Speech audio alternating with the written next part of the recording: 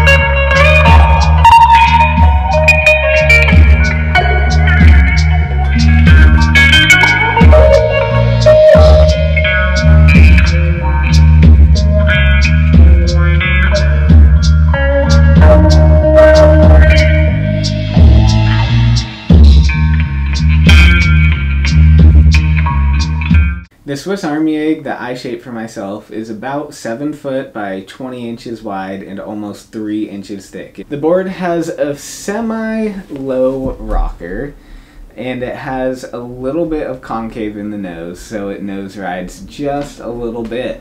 The rails are a soft down rail and there is hard edge in the tail.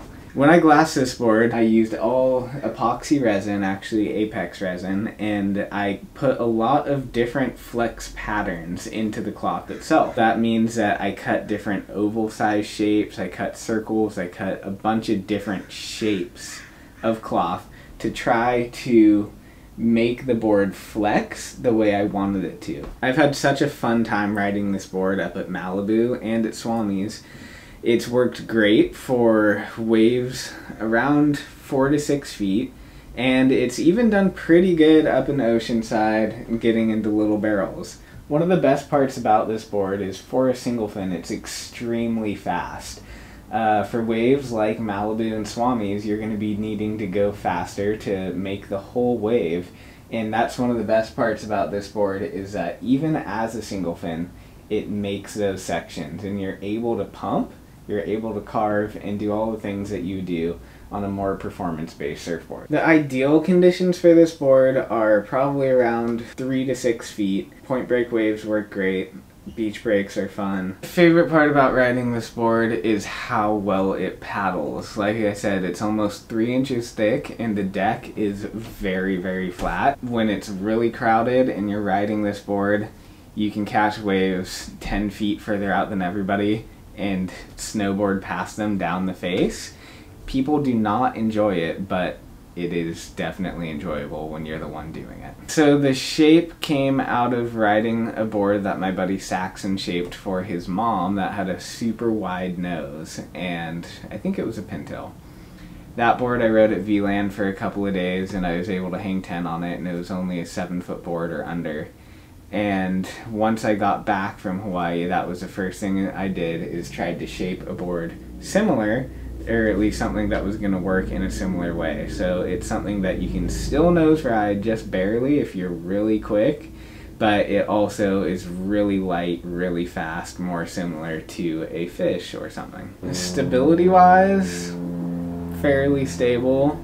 Maneuverability wise, pretty dang maneuverable until you max out the speed of the single fin, or at least the, what the single fin can hold in. And finally, the tube riding ability is probably like a 5 out of 10. Anyone can ride this board. It's extremely thick, so it paddles extremely well. It catches waves very easily. And it has a lot of, I guess, potential for growth. You can start going basically straight on it and you can finish doing roundhouse cutbacks and getting barreled. So there's a lot of opportunity to grow on a surfboard that has this shape. If anyone's interested in the Swiss Army egg, just hit me up. Give me an email. We can talk about getting a board shaped for you. Last thoughts I would never review a surfboard that I don't like. The surfboards that I don't like generally get given away, left at the beach, or thrown off of cliffs for fun. So, I'll talk to you guys soon. Hope you guys enjoyed this video. Leave me a comment if you liked the video and this style of video. Let me know if there's any other videos you would like me to make for you. Please subscribe. That'll keep me making you more content. Love you guys. Aloha.